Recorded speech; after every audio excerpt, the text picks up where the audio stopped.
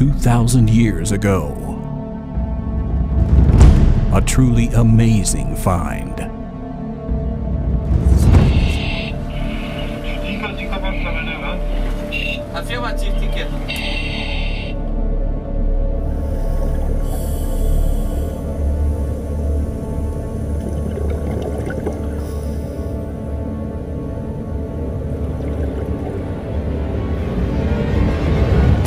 On, on a un objectif, c'est sortir le bateau.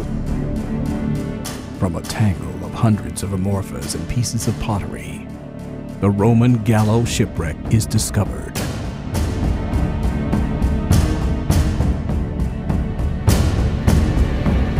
Tout commence à partir de là en fait. All means are made available to free the ancient barge from the depths of the Rhone.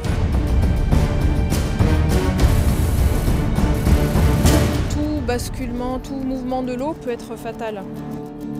The technical teams and archaeologists prepare to extract from the river the boat which measures almost 30 meters long. Raising the wreck is a real challenge.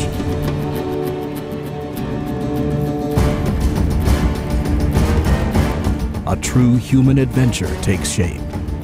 It is a fastidious test of patience, full of surprises. On peut encore avoir beaucoup de surprises. hein.